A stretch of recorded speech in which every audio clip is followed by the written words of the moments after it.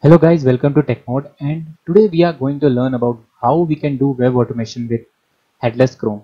So in this tutorial basically we are going to learn about a library, basically kind of you can say a wrapper that is written on on on the top of headless Chrome which is known as Chromeless. So and we will basically going to learn how we can leverage the Chromeless library to run our test cases in headless Chrome.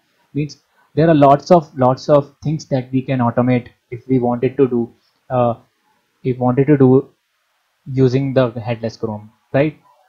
Let's get started. So table of content include that uh, we're basically going to learn how chromeless works and we are going to install it. We are going to run certain test cases and basically we'll after that we'll be going to see certain api documentation and how we can configure this uh, chromeless uh, test cases that we have written into and how we can run them continuously or probably using any uh, continuous integration and continuous development.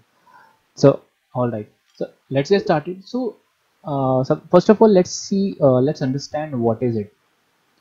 Uh, let me go to the tab. Yeah. Let's let's go to chromeless so if you go to github.com slash prism GraphQL slash the, the URL that is given the Chromeless. Here they are mentioning that the Chrome automation made simple runs locally and as, well as you can run your test cases on AWS Lambda. So what are the benefit of running it on AWS Lambda is that you can easily get some free tire as well as free sign up means you can say that if there are uh, few of the test case you can run it for free if you wanted to test it out the Amazon AWS Lambda demo. And basically in new in the next tutorial probably we are going to cover that part. But in this part we are going to cover locally how we can uh, run our Chrome chromeless locally. So what we need is that uh, it's very simple one. If let's let us do one thing. Let's try out how it works. So this is a playground that they have uh, uh, given us uh, where you just write your code whatever it is here in the left left hand side part and you will get the output here all right. So what they have written is that they just make make make an instance of chromeless and after that uh, what they are doing is that they called chromeless and this is called as chaining mechanism where you can just uh, whatever you wanted to do you just uh, do it by dot operator. So what we are doing is that we are going to graphql uh, graph.cool.com scroll some and take a screenshot and after that whatever the screenshot that we have taken here we will have it and we are console print. And after that we are just closing the headless chrome that we have run using the chromeless library. Right? So let's do one thing. Uh, let's run it. Uh, sometimes it fails but try again. It will definitely going to do it. The trick for you. So uh, it yeah. So as you can see it has printed out some url let's go to that url and you can see that the website screenshot is coming. So this is the taken by aws lambda where the chromeless instance were running. So how you can you can say that uh, means you can understand that how easy it is to run our test cases without using our own resources. But uh, this is not what we are going to do in this tutorial. We are going to learn about how we can install it locally. Okay. To install locally uh, what you have to do is that it's very simple. Uh, there are two ways basically you can install it that I have already mentioned that you can run locally as well as you can run using AWS Lambda. We are going to cover this part in this part, this the local part, right? It's very simple to install local setup. You have to just install npm install cross chromeless. So what is npm install chromeless do is that uh, if you have node installed node.js before that the first dependency with npm is that you have to install node.js what you can do is that you just go to node google and type node.js here just install the latest LTS version and you will have your npm package installed. All right after that go to the command line. Let me to show you some, some something like this. You just go to the command line and npm here. And you type the command like this npm install chromeless and save. Save we are because doing because we are creating a uh, project of it. All right so now you have installed the chromeless in your uh, local machine you have you can run this test where what this test is that it gets the instance of chromeless and here we are calling one function async. What if we are doing is that basically the execution going to run run method because we have mentioned run dot catch. So the first thing will be run is run. We are getting the instance and we created a one variable with screenshot and call the instance chrome and the chaining mechanism. After that we can use go type press wait screenshot. Means uh, we can use the flow. These are basically you can say kind of uh, let me go let me do one thing. If you go to API documentation here you can use these methods which are already given or already implemented in chromeless library right? So there are few methods like back forward refresh are yet not implemented but they are going to implement it in like probably next couple of months now what you can do uh, you can go to google url and type chromeless. And after that uh, it's basically going to get the input from this and press 13 and wait for the results and take a screenshot of it. So it's a very basic test. Uh, you can run it if you wanted to run it. So let me show you how you can run it. So the first thing first uh, if you have node installed uh, you can what you can do is that uh, you just have to type npm init and your project will be start. And this is how your project will look like. And we have a one package for json so when you do npm init it's going to ask bunch of questions. Just say yes yes yes yes yes. And it will basically going to uh, create package json file. But the dependency will not be installed. So now what you have to do is that uh, you have to do npm install npm install chromeless save so when you do it uh, this dependency will be got getting installed here. Here.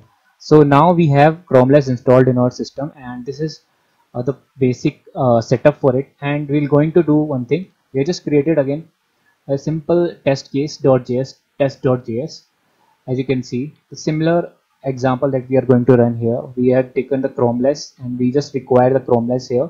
We created an instance using of chromeless using the chromeless class after that uh, this run method will be run because uh, we are going to calling run here. And if this run returns any kind of error then catch console will basically going to return uh, the console error for you. And if uh, we are after uh, getting the instance of chromeless we are going to call it methods. The methods are go to type press wait and take screenshot. So these are the steps like HTTPS going there typing this getting the third URL and screenshot and printing the screenshot. So let's see uh, how it's going to run. Uh, so to run this test case you have to just type node and test.js and click on ok.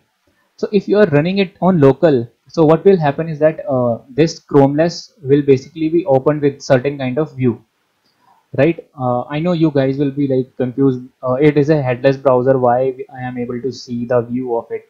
Right? But uh, sometimes what will happen is that uh, there's a particular flag that you have to switch it off.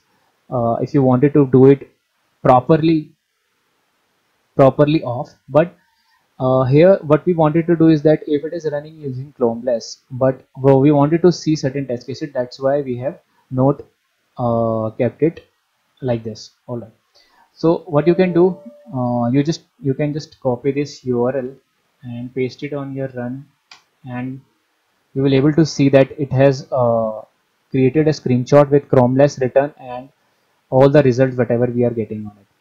So this is how it's very simple to get chromeless uh, test cases run. So let's do one thing. Let's see some examples. Let me uh, go to the examples. So if you go to uh, the same github page go to example page where they have uh, they have a twitter.js so basically the same thing is with the uh, with this uh, happening right now.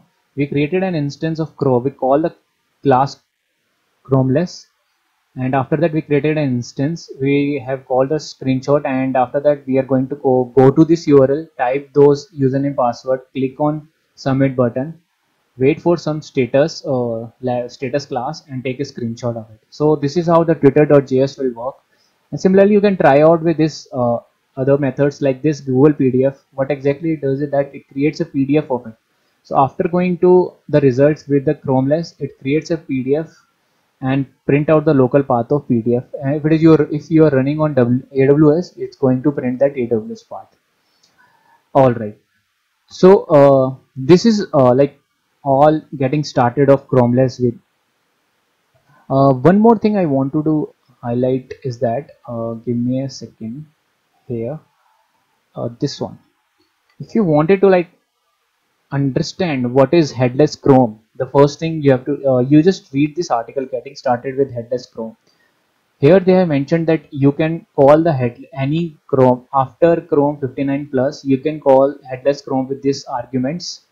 You can uh, dump DOM using this. You can create PDF with this.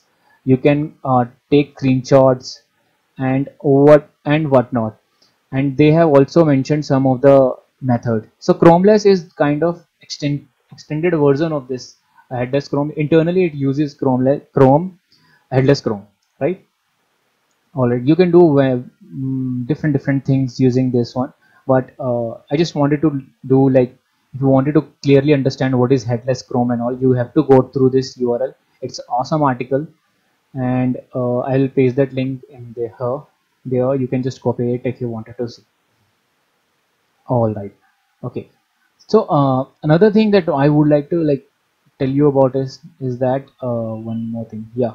This is a like browserless. If you wanted to use kind of uh, a headless browser service you can try it out this browserless.io it's like simple thing. It's basically calling the puppeteer uh, apis puppeteer is another uh, library that is written as written with uh, written uh, for the headless chrome basically consuming the uh, headless chrome apis it is written by google team but chrome chromeless is basically written by certain graphql guys.